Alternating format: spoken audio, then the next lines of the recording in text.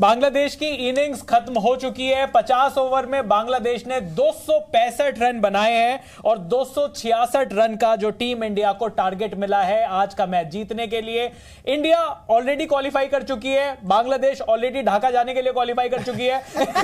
तो तो इस, ये मैच है तो डेड रबर लेकिन फिर भी अगर टीम इंडिया को, क्योंकि पूरे टूर्नामेंट में कोई भी मैच हारी नहीं है इंडिया के सामने दो सौ छियासठ रन का लक्ष्य है। बांग्लादेश ने दो सौ पैंसठ रन बनाए, आठ विकेट के नुकसान पर।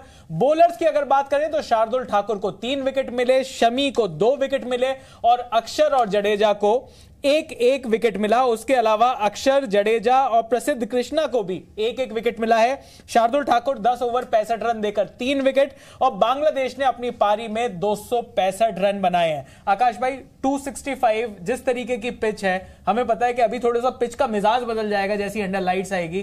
कैसा स्कोर है? फाइटिंग स्कोर है या फिर थोड़ा सा अंडर पार है? देखिए थोड़ा सा अंडर पार तो है। अगर आप बांग्लादेश से पूछेंगे तो कहेंगे 25 रन और मिल जाते। आ, तो फिर तो हम सामने वाली टीम की नाक में दम करते।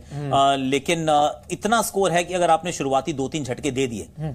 तो फिर ये आपकी नाक में दम वैसे भी हो जाएगा। नहीं आकाश भाई एक सौ अट्ठाईस ऑल आउट तो नहीं होगा ना बस इतना ही भरोसा नहीं एक सौ अट्ठाईस एक सौ अट्ठाईस तो हमारे एक एक खिलाड़ी मार देते हैं ऐसी बात नहीं है। तो वहाँ तक तो नहीं जाएँगे पर क्योंकि चार स्पिनर्स हैं फास्ट बॉलर में भी आपको तस्कीन जो है वो अच्छी पेस पे डालते हुए नज़र आएँगे। एक नया गेंदबाज खेल रहा है जिनको हमने बांग्लादेश प्रीमियर लीग में देखा था। मेरे ख्याल से वो तस्कीन हाँ। की जगह ही खेल अच्छा, रहे हैं तस्कीन की जगह तस्कीन की जगह ही वो खेल रहे हैं। वो उनकी एक्चुअली बॉल अच्छी मूव करती है लेफ़्ट राइट तो इंटरेस्टिंग हम्म। रहने वाला है पर चार स्पिनर्स।